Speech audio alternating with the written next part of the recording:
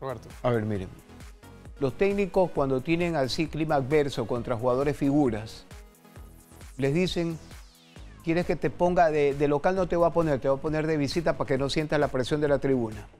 Los jugadores que tienen personalidad le dicen, eso le cambio, póngame donde haya más presión de la tribuna y los partidos livianos no me pongas, pero allí tiene que ponerme. Eso hacen los grandes jugadores.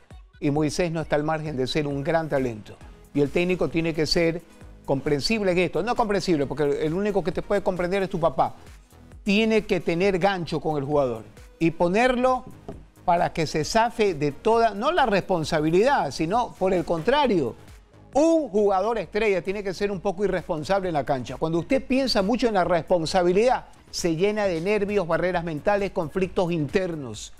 No, un jugador tiene que tener, eso es lo que se llama desenfado, es lo que se llama impronta, es la irresponsabilidad, picar la pelota, hacer la paradiña, tratar de tocar donde nadie espera, porque un gran crack hace la ilógica, no hace la lógica. Y en la cancha necesita desenfado, ir a romper todos los esquemas, ir a romper todos los métodos. Esté el técnico para darte orden, pero un jugador como él está para eso, para cambiar la historia. Y él tiene que jugar. La continuidad le va a ser maestro, el oficio es el maestro. Nada más. Y a callar las bocas que lo criticaban y abrir las bocas del asombro. Eso le queda un crack. Ahí se envían los cracks y Moisés es un crack. Él en el ADN, en la sangre, tiene esa mística, la rebeldía, lo cual se necesita para esta clase de partido para cambiar el temporal. Eh,